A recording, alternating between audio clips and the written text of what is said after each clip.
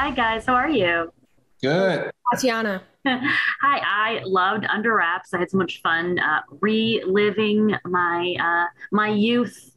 Uh, so, had you guys seen the original Under Wraps, uh, or did you only want to take inspiration from the script and Alex? Yeah, I I was familiar with the older movie, um, but I had not watched it.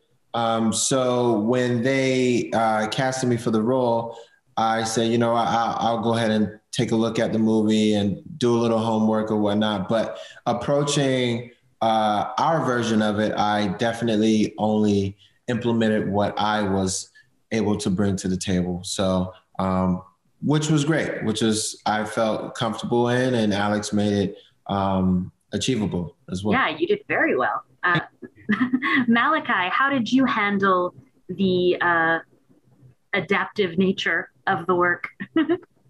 yeah, I mean, so when I mean, obviously, I was going kind of back to the the original. I mean, I'm I'm 14. I, I wasn't really part of that generation. I was born in 2007, uh, not 1997. but um, no, but um, I did end up watching the original when I first got the audition to do a little bit of homework, but I still kind of I I wanted to make it my own, but I also wanted to stick mainly to the like to still to almost the exact ish storyline of Marshall because I didn't want to make any of like the OG fans mad, but I also wanted to add my own little flair.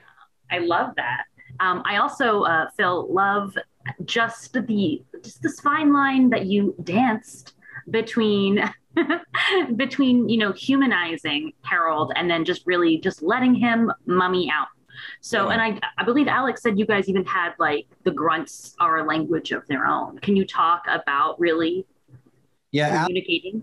Alex was very specific on expressing uh, how Harold was going to relate to these kids, you know, and we actually had to create our own language.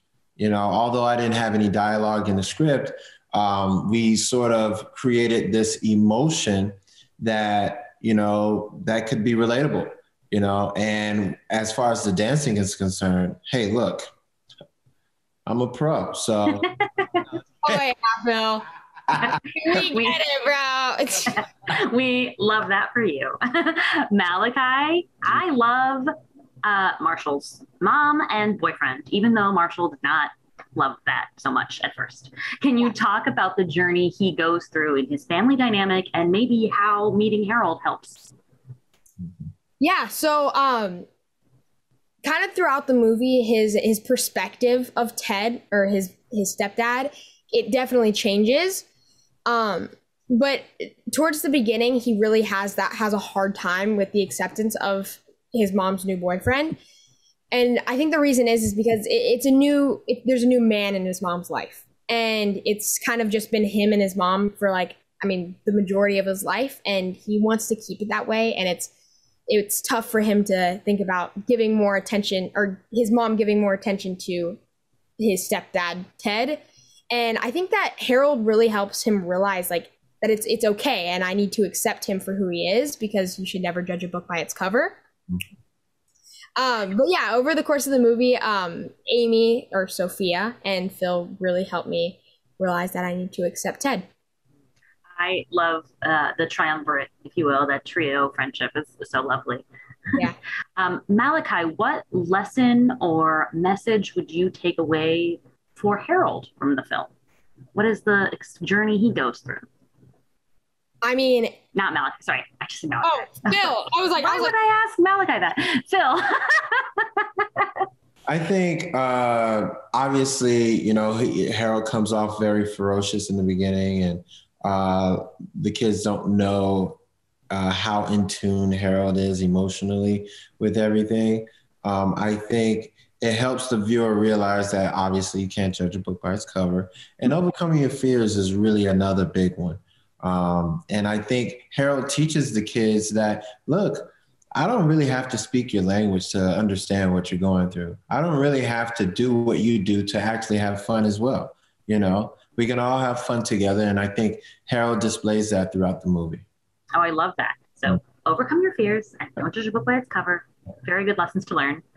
I obviously, because I'm old, grew up with uh, the Disney Channel original movies.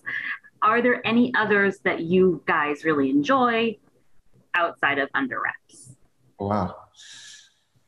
Wow. Uh, I thought I thought Zombies was good. Mm. Zombies was good. I like that that that that one. I like that. Yeah, um I would definitely have to say either the Descend- the Descendants franchise or um, High School Musical. Oh, I guess High School Musical does count. Oh, there you go. I love that.